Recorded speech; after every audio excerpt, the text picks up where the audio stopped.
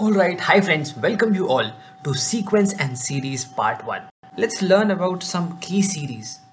For example, linear series from all the numbers from 1 to n, if we add all the natural numbers we add, the sum is n into n plus 1 by 2. Very very simply, if I add all the numbers till 10, what is the number? 10 into 11 upon 2, right? Which is 55 in the square series if I add the squares of all the natural numbers till n that becomes n into n plus 1 into 2n plus 1 by 6 so 1 square 2 square till 10 square that becomes 10 into 11 into 21 upon 6 now this is 3 7 3 2 this is 5 this again becomes 35 3 5 3 5 becomes 385 right? Similarly the cube series sum of all the cubes of natural numbers till n becomes n into n plus 1 upon 2 whole square. Right?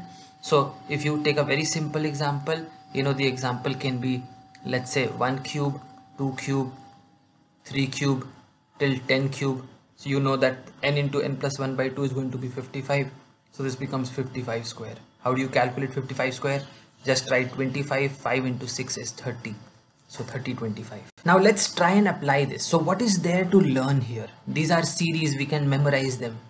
So where is the learning part? The learning part is creating general terms and then finding the sum. Let's take a very simple example here.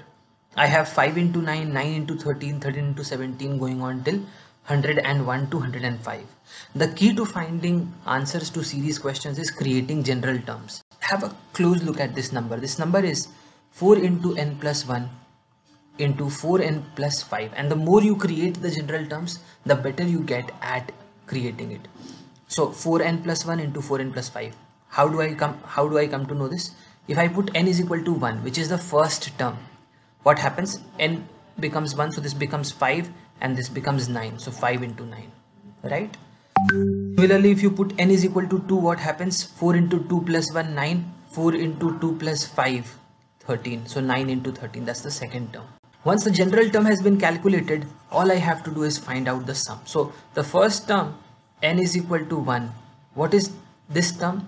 4 into 25 plus 1 plus 5. So there are 25 terms in this series so I have to sum this up till 25 now what is this? This is 16n square 4n so this is 20 plus this is 4 24n plus 5 I have to sum it all up. So I have to sum it all up till uh, 25 from n is equal to 1 now 16 into what is the sum of n square?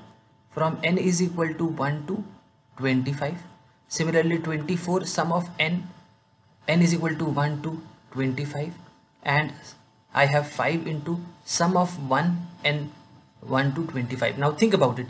This is nothing but summation of n. This is nothing but summation of n square and this is nothing but summation of n cube.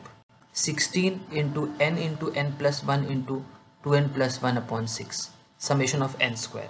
Here I have 24 into summation of n which is n into n plus 1 upon 2 and finally you add 1 n times what will be the answer? n. So here 5 into n. All we have to do is put n is equal to 25 what's a faster way of solving this question? Let's see. This is 16 into 25 into 26 into 51 by 6 this is 24 upon 2 into 25 into 26 plus 5 into 25 now think about this. This is 8 times 3 times.